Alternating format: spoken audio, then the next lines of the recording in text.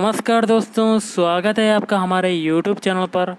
इस वीडियो में हम लोग सामान्य ज्ञान के अति महत्वपूर्ण क्वेश्चन करेंगे, जो कि आपके किसी भी एग्ज़ाम के लिए इम्पोर्टेंट हैं। तो वीडियो स्टार्ट करने से पहले एक बात कहना चाहूँगा कि जिन दोस्तों ने चैनल को सब्सक्राइब नहीं किया तो प्लीज़ चैनल को सब्सक्राइब कर लीजिएगा और पास में जो बेल आइकन होता है, उसको भी दबा लें, ताकि आने वाले टाइम में आपको वीडियोज़ की नोटिफिकेशन टाइम टू टाइम मिलती रहे। चलिए स्टार्ट करते हैं। आज का वीडियो। इस आज के सेशन में पहला क्वेश्चन बनता है, भारत में ज्वार शक्ति के उत्पादन के लिए सर्वाधिक संभावना किस तट पर है? तो इसका आंसर हो जाएगा ऑप्शन डी गुजरात। निम्नलिखित बांधों में से कौन सा एक सिंचाई के लिए नहीं है? तो ऑप्शन डी शिव समुद्रम। अगला है शरीर में होने वाली रासायनिक अभिक्रियाओं का नियंत्रण कुछ विशेष प्रोटीन करते हैं, इनका नाम है। तो ऑप्शन ए, हार्मोन। अगला है पारिस्थितिकीय तंत्र की हानि से तुरंत प्रभावित होने वाली प्रजाति है। ऑप्शन डी, संकेतक प्रजाति। अगला है मानव शरीर में सबसे बड़ी ग्रंथि कौन सी है? तो ऑप्शन डी लीवर। अगला क्वेश्चन है आपका, ग्लाइकोमा निम्नलिखित में से किसका रोग है? तो ऑप्शन डी नेत्र का। अगला क्वेश्चन आपका बनता है, निम्नलिखित में से किस रोग की रोकथाम टीके द्वारा नहीं की जा सकती? ऑप्शन बी मधुमेह। अगला क्वेश्चन आपका बनता है भारत में किसके शासनकाल में सबसे पहले राजनीतिक एकता पाई गई? तो ये हो जाएगा ऑप्शन सी, मौर्य। अगला क्वेश्चन बनता है शेर शाह निम्नलिखित में से किस राजवंश से संबंधित था? ऑप्शन सी, सूर। अगला क्वेश्चन आपका बनता है, गाइस राष्ट्रीय ध्वज का डिज़ाइन निम्नलिखित में से किसके द्वारा तैयार किया गया था? तो option D Pingali Venkayya.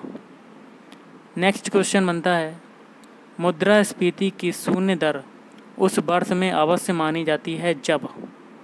तो क्या होगा इसका? ऑप्शन ए वर्ष के प्रत्येक सप्ताह में मुद्रास्फीति की वार्षिक दर शून्य हो।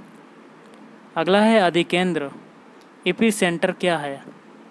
ऑप्शन ए भूकंप का केंद्र।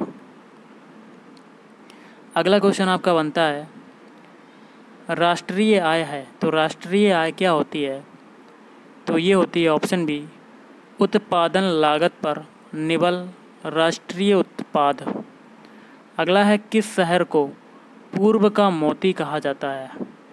तो इसका क्या होगा? Option B Singapore. अगला क्वेश्चन आपका है बुलंद दरवाजे का निर्माण अकबर की किस राज्य पर विजय के उपलक्ष्य में हुआ था? ऑप्शन सी, गुजरात विजय। निम्न में से किसने औरंगज़ेब के विरुद्ध प्रथम जाट विद्रोह का नेतृत्व किया? तो ऑप्शन ए, गोकुल। अगला सुमेलित करना है। सूची एक में देश हैं। सूची टू में शेयर सूचकांक हैं। ओके। और कूट के माध्यम से आपको मिलाना है। Option B. पहला है जर्मनी। जर्मनी का हो जाएगा। चौथे से मिड डेक्स फिर है सिंगापुर। सिंगापुर का हो जाएगा दूसरे से सीमेक्स। फिर है मुंबई। मुंबई का हो जाएगा डोलेक्स। फिर है जापान। जापान का हो जाएगा निक्की। निम्नलिखित में से किस जीव में शीत निष्क्रियता नहीं पाई जाती है? तो ऑप्शन डी गिरगिट अगला क्वेश्चन है, निम्नलिखित में से किस मराठा शासक ने औरंगज़ेब के पुत्र को अपने दरबार में शरण दी थी? Option C Shambhu ji. अगला है, निम्नलिखित में से किस मुग़ल बादशाह ने अंग्रेज़ों को बंगाल, बिहार और उड़ीसा में बिना कर दिए व्यापार करने की आज्ञा प्रदान की थी? Option C Farrukhsiyar. Prithviraj Vijay के रचयिता कौन थे? ऑप्शन बी जयानक अगला है, भारतीय अर्थव्यवस्था को सबसे अच्छे ढंग से किन शब्दों में व्यक्त किया जा सकता है? ऑप्शन डी, मिश्रित अर्थव्यवस्था। अगला क्वेश्चन बनता है गाइस वर्णहीनता किस एंजाइम की कमी के कारण होती है। तो इसका क्या होगा आपका? Option A, tyrosinase. अगला है, चन्नू दड़ो हड़प्पा संस्कृति से संबंधित एक स्थल है, यह कहाँ स्थित है? तो इसका आंसर क्या होगा? आपको बता देता हूँ। Option A, Sindh. अगला है, निम्न बैंकों को की स्थापना वर्ष सुमेलित कीजिए, कूट के माध्यम से। तो इसका क्या होगा? ऑप्शन डी थोड़ा सा छोटा कर लेते हैं। ऑप्शन डी हो जाएगा। पहला है भारतीय औद्योगिक वित्त निगम आईएफसीआई तो ये हो जाएगा दूसरे से। 1948 फिर है भारतीय लघु उद्योग विकास बैंक सिडबी इसका हो जाएगा पहले से। 1990 फिर है भारतीय जीवन बीमा निगम एलआईसी इसका हो जाएगा तीसरे से। उन्नीस सौ छप्पन। फिर है भारतीय औद्योगिक विकास बैंक आईडीबीआई इसका हो जाएगा चौथे से, उन्नीस सौ चौंसठ। अगला है एहोल में दुर्गा मंदिर का निर्माण, किसके शासनकाल में हुआ था? Option B, Chalukya. कोलकाता में फोर्ट विलियम कॉलेज की स्थापना किसने की? तो ऑप्शन बी, लॉर्ड बेलेजली। अगला है स्वामी दयानंद सरस्वती का जन्म कहाँ हुआ था? Option B, Gujarat. अगला क्वेश्चन बनता है, वर्ष 1905 के विभाजन के पश्चात बंगाल एक प्रांत के रूप में पुनः स्वीकृत कब हुआ? ऑप्शन सी, वर्ष 1911 में। अगला क्वेश्चन है, निम्न में से किस प्रकार के तत्व उत्तम उत्प्रेरक सिद्ध होते हैं। ऑप्शन ए, संक्रमण तत्व। अगला सत्रह सौ तिरसठ ईस्वी में पटना स्थित अंग्रेज़ों की फैक्ट्री पर अधिकार किसने किया था? Option C, Mir Qasim. अगला है, बंगाल विभाजन के विरोध में कौन सा आंदोलन छेड़ा गया? तो ऑप्शन है स्वदेशी आंदोलन। और आज का अगला क्वेश्चन है, निम्नलिखित संगठनों पर विचार कीजिए। और देखिए दोस्तों, आगे कहता है, इनमें से कौन सा परमाणु ऊर्जा विभाग के अंतर्गत है? तो कोड के माध्यम से बताना है। ऑप्शन डी चारों हैं। पहला क्या है? परमाणु खनिज अनुसंधान एवं अन्वेषण निदेशालय, फिर है गुरुजल बोर्ड, फिर है भारतीय रेयर अर्थ लिमिटेड।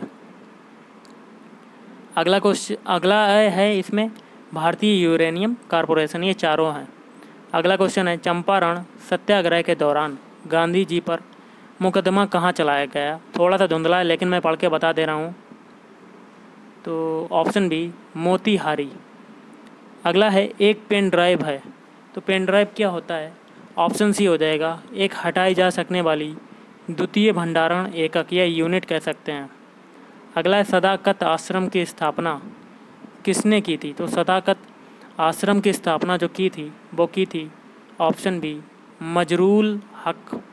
अगला है स्वामी सहजानंद, किसके नेता थे? ऑप्शन बी, किसान। अगला है भारत छोड़ो आंदोलन के दौरान 11 अगस्त 1942 को पटना में पुलिस गोलीकांड में मरने वाले छात्रों की संख्या कितनी थी? ऑप्शन बी चार।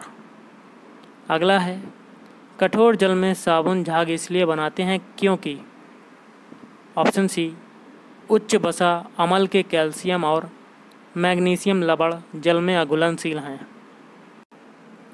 अगला क्वेश्चन है, भारत की स्वतंत्रता के बाद बिहार के पहले राज्यपाल कौन थे?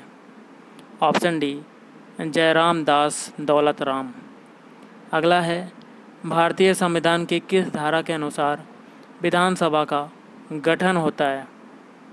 ऑप्शन सी, एक सौ सत्तर। अगला क्वेश्चन बनता है, विधान परिषद के सदस्यों की न्यूनतम संख्या कितनी होती है? ऑप्शन सी, चालीस।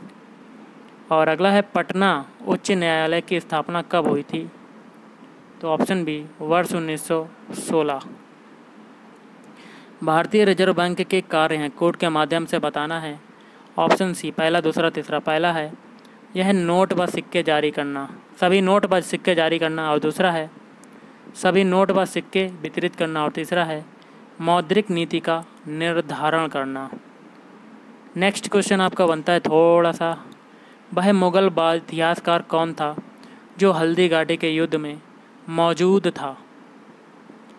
तो इसका आंसर हो जाएगा ऑप्शन सी बदायूनी अगला है कंसोलिडेटेड फंड ऑफ़ इंडिया से निकासी के लिए प्राधिकरण निश्चित रूप से आना चाहिए। ऑप्शन बी, भारत की संसद द्वारा। अगला है, किस संत ने चौदहवीं सदी में भक्ति आंदोलन को उत्तर भारत में प्रबल बना दिया था? Option B, Ramanand. अगला है करों तथा अन्य प्राप्तियों के रूप में केंद्र सरकार द्वारा प्राप्त समस्त राजस्व सरकारी कार्य के संचालन के लिए जमा किए जाते हैं। Option C consolidated fund of India में। अगला है वीटी बैगन क्या है? तो वीटी बैगन जो है, आपको बता देता हूँ। ऑप्शन बी, आनुवंशिकी रूप में, आनुवंशिकी रूप से परिवर्तित बैगन। अगला है मान, भारतीय मानसून वन का वर्णन। सबसे पहले किस अरब विद्वान द्वारा किया गया? तो ऑप्शन सी अल मसूदी अगला है भारत सरकार का प्रथम कानून अधिकारी कौन होता है? ऑप्शन बी, भारत का अटॉर्नी जनरल और अगला है, दक्षिण भारत में सर्वप्रथम एक विस्तृत साम्राज्य का निर्माण किसने किया? Option D, Chola. और आज का अगला क्वेश्चन है, होटलों में पिज़्ज़ा अधिक स्वादिष्ट बनाने के लिए किस रसायन का प्रयोग किया जाता है? तो option D, monosodium glutamate. और आज का लास्ट क्वेश्चन है, प्राणी स्टार्च निम्नलिखित में से कौन सा है? Option C, glycogen. तो गाइस आज के इस वीडियो में इतना ही। अगर आपको वीडियो पसंद है वीडियो को लाइक करें शेयर करें और चैनल को भी सब्सक्राइब करें। Thank you